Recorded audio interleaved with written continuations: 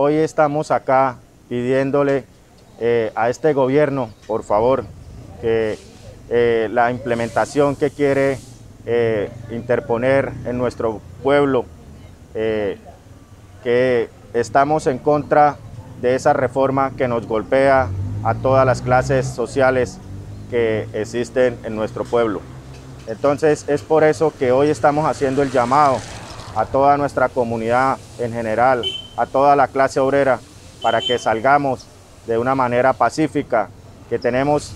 eh, derecho constitucional de salir a manifestar y pronunciarnos a decirle que no estamos de acuerdo con esa reforma tributaria que él quiere eh, poner a nuestro pueblo. Nosotros como dirigente y como organización sindical vamos a estar hoy eh, en el trayecto del día, vamos a estar manifestando, vamos a estar protestando pacíficamente con nuestro pueblo eh, para decir que no estamos de acuerdo con esta reforma.